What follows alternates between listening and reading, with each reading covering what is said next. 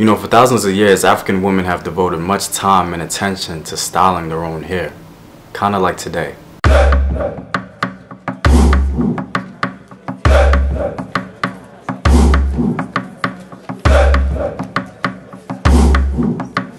What up African world, it's your boy Home Team here. I'm back at it with another video of African history, culture, and worldview. And today I'm going to be talking about African women and their hair.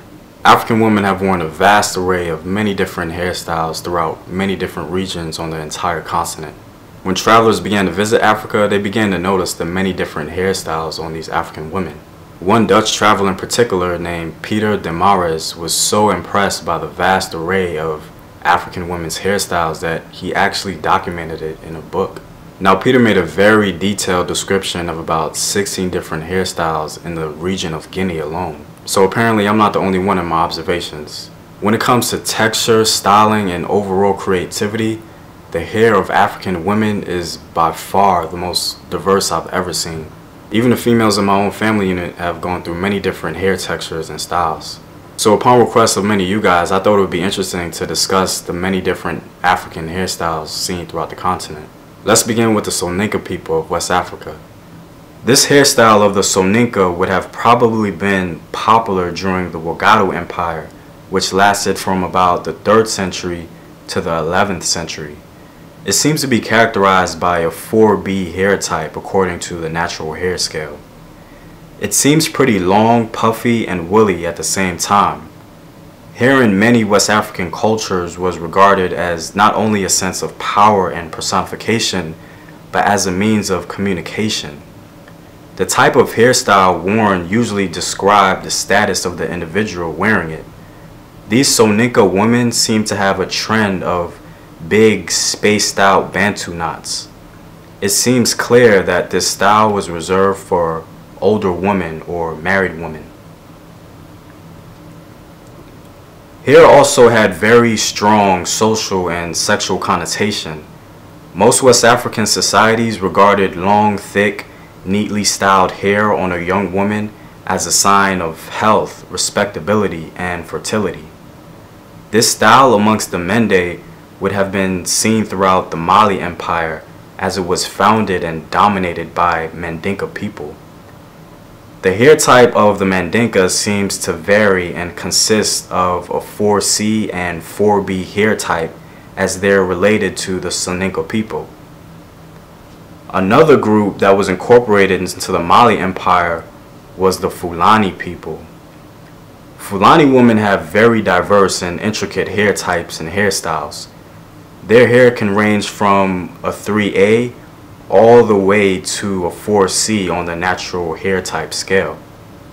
In all honesty, they were probably one of the first ethnic groups in West Africa to do the frohawk style in which a large piece of hair stands up in the middle region of the head. The Fulani are the largest ethnic group in West Africa and were a part of virtually every West African empire, especially the Mali Empire. Testament to the diversity of Fulani hairstyling and texture, the Wodaabe, a subgroup of the Fulani, have popularized the middle afro puff. The Wodaabe are a little more nomadic than the typical Fulani ethnic group, and their unique hairstyle makes them stand out amongst other African ethnic groups. Fulani people and Fulani hair is probably the most diverse in West Africa. Another nomadic people in Western Africa are the Tuareg. The Tuareg along with the Fulani seem to have the longest hair in the region. The Tuareg were some of the main groups of people that traded with West African empires such as Wagadu, Mali, and Songhai. They mostly dwell in the Sahel region along with the Soninka. Their hair type can range from about a 2B all the way to a 4A according to the natural hair scale. As we can see here, the hair of these northwestern Tuareg girls are characterized by long braided locks and designs across the entire head. Southwestern Tuareg of the Niger region have very similar hairstyle that follows the rules of the Tuareg standard. Their hair is more woolly and kinky along the lines of a 4A type. Another hairstyle from West Africa comes from the Songhai. This hairstyle probably represents the elite status of women in the Songhai Empire. Songhai hair is largely characterized by its 4C hair type. This Songhai's woman's hair is seen with adornments and a long curled afro textured extension in the back of the head. Big and neat hair was cherished among the Yoruba people and many other ethnic groups in West Africa. Similar to the Fulani style, they also maintained a frohawk. Yoruba hair is characterized by its 4C hair type and is seen to have a very simple yet complex hairstyle.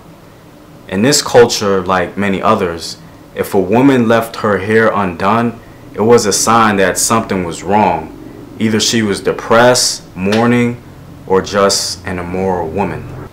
Now, Southern African women tend to have a completely different hairstyle that seems to be greatly influenced by the region itself. These Africans in the South seem to be a little more concerned with protective styling.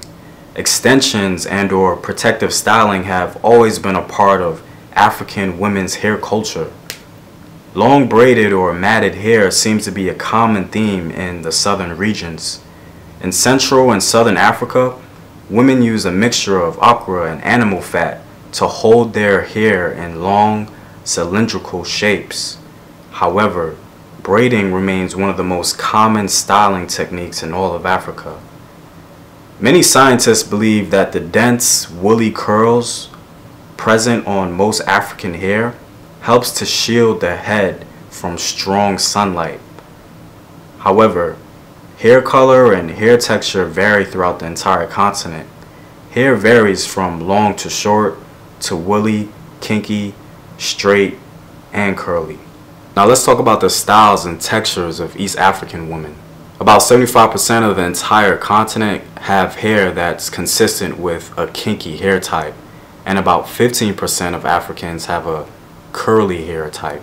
Straight or wavy hair amongst Africans is usually present in very humid regions or forested areas of the Sahara. Let's take Ethiopia for example. Ethiopian women have a diverse array of hair textures, but it's usually characterized by a 3A to about a 3C hair type. This hairstyle worn by some Ethiopian women probably can date back all the way back to the Aksumite Empire. In this picture, we see two Eritrean girls with a very intricate braided hairstyle that was probably seen throughout the Aksumite Empire as well. The hair type and hairstyle of Ethiopian people is very diverse as we can see, perhaps the most diverse in the whole region. The hairstyle and hair types is also diverse amongst Somali women who are in a similar natural hair range of Ethiopians. From this photo, we can see a half braided hairstyle with loose ends on the bottom. Somali hair tends to be long, straight, or curly, often with a woolly type hint to it. Hair has always been very important to African women throughout the continent. Today we have a tendency to see many Afro-descendant women do many similar techniques to their hair as early Africans. Many Afro-descendant women today use protective styling, weaves, extensions, and other adornments. Seldom do we see that today as an African tradition, but the truth seems to be quite different from our 21st century ideas on African hair history. If we really look at the history of women's hair in Africa, we will see that they too did similar things, especially in ancient times.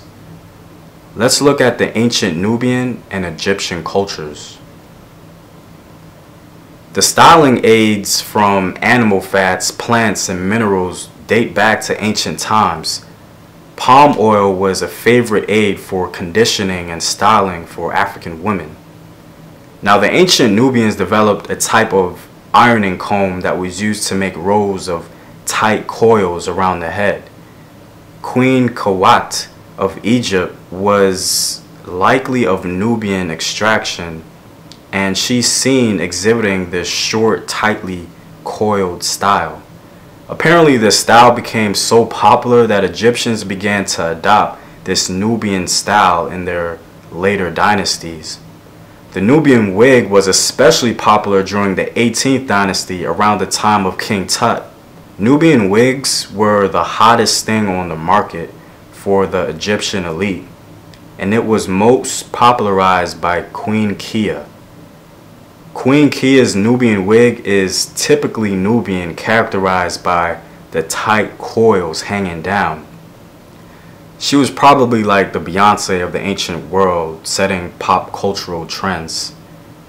From her depiction, the wig looks very organized and neat, signifying her elite status.